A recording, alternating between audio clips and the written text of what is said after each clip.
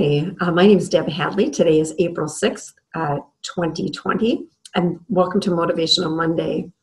I am the spiritual care coordinator for Knute Nelson Hospice. So, what I'm going to do today is read Jesus Calling. And you can see my book is pretty beat up because I have read this every day for the past seven years of my life. And I feel like every day that Jesus just opens my heart and speaks right to me. And I'm hoping that you'll feel the same way.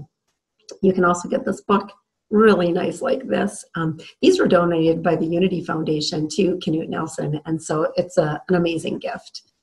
So I'm going to start out April 6th, and this is what the Lord says to you and to me in capital letters. It says, Bring me the sacrifice of thanksgiving. Take nothing for granted, not even the rising of the sun. And when I read that this morning, I thought, you know what? We take so much for granted, don't we? We take so much for granted that we're going to wake up, we know what we're going to do for the day. We took our jobs for granted, our families for granted, shopping, going out to eat, toilet paper. We took all those things for granted, didn't we? We took for granted that when we pass away, that our loved ones are going to be able to be with us. We took for granted that um, that we would be able to do whatever that we want to do, and those privileges were taken away from us.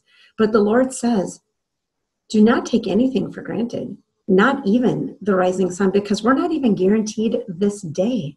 So the fact that we're in it so far, He asks us to come to Him with thanksgiving and to be grateful and see all the beauty and the blessings that are before us.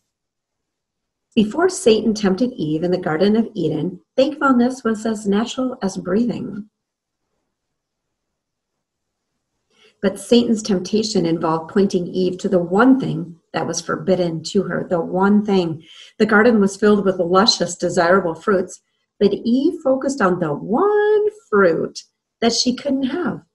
And rather than being grateful for all the other things that were in her life, rather than being grateful and seeing it all, she had this negative, dark focus in her mind that she wanted that fruit on that tree. She wanted the fruit of uh, from the tree uh, of the knowledge of good and evil.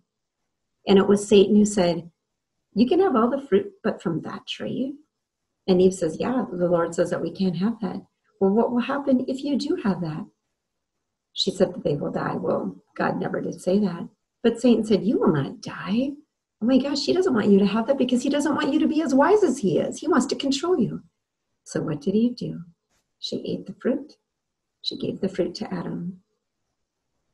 And then the world became dark and sin, sin entered this world.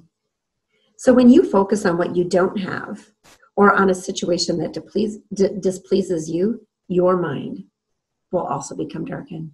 And we are in a situation right now where I bet you a lot of this displeases you because a lot of it displeases me. We're in a situation we cannot control. And it can really darken our mind if we control if we really focus on the negative, the hardships or the circumstances that are in our life. It says you take for granted life, salvation, sunshine, flowers, and countless other gifts from me. We take for granted all those things, but they're right before us. And he says, instead, you look for what's wrong and you refuse to enjoy life until that is fixed. And so while you're here in this world, and while we're waiting for this virus to pass, that we fix our thoughts on the things that are worthy and good and right and just and kind and loving and beautiful.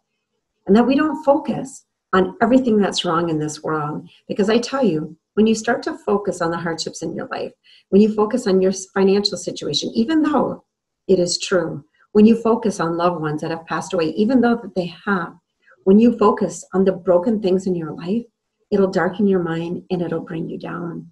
The Lord says, even those those things are true, even though you're struggling in hardships, focus on me. I am the light and I am the truth, and I will help you get through this and focus on the beauty that I put before you. He says, When you approach me with thanksgiving, the light of my presence pours into you, transforms you through and through. So when we focus on Him and we focus on the blessings, even though there are hardships in this life, then He fills us with His light and He can transform us. Our circumstances may not change, but we do. We change from the inside out. We can shine His love on others. It says, Walk in the light with me by practicing the discipline of being thankful. So, with that, I'm just going to ask you to bow your head and close your eyes. I'm going to say a quick prayer. So, dear Heavenly Father, we are so grateful for the gifts of today. And Lord, help us to focus on the beauty that's before us. Lord, sometimes it's so easy to darken our minds and see the things that are not going right. Lord, there are people out there whose loved ones are really sick and they can't be with them, Lord. I ask you to fill them so full of your presence. Lord, we are grateful for the facilities that we have for our elderly, for the front line that is the hands and feet of you, Lord, taking care of them, for our leadership team, Lord, that is making sound decisions that is the best for all of us and for our patients, Lord.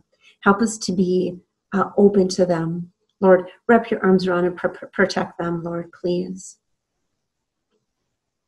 Lord, we ask that you provide healing to all of us, that you eliminate this coronavirus from our world, and Lord, that you fill us with the light of your presence, Lord, and that once this is over, that we become your hands and feet, and people can surely see the love of you, Lord, shining straight through us.